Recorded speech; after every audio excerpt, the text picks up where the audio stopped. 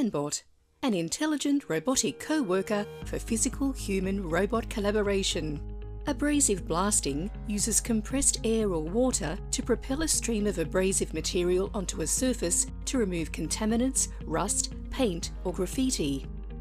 It is used in a wide range of industries including steel bridge maintenance, manufacturing, construction and shipyard industry with an estimated global market of 346.1 million US dollars for abrasive blasting machines and 7.2 billion US dollars for abrasive materials.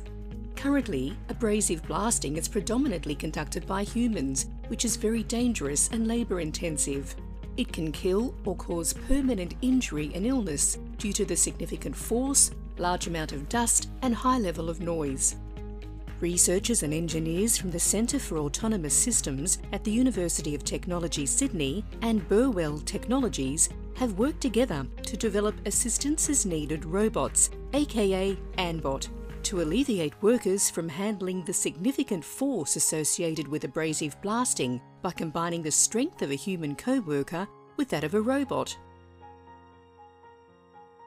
ANBOT consists of a 6 degrees of freedom robot arm a range of sensors and novel algorithms developed by our researchers that enables the robot to recognise the human co-worker pose in dusty environments, calculate assistance needed by a human worker based on the measured pose and using upper body musculoskeletal model, intuitively interact with the human co-worker, collaboratively conduct abrasive blasting operation, be aware of environment change and operational process, and avoid potential collisions and singularities.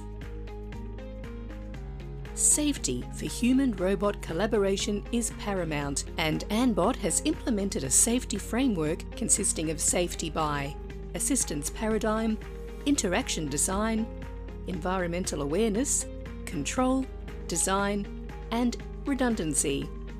Extensive testing and user trials in the lab have been performed to verify the algorithms and the whole robot system. Real-world trials in a blasting chamber was performed by a professional abrasive blasting worker, demonstrating the suitability of the ANBOT for practical industry applications.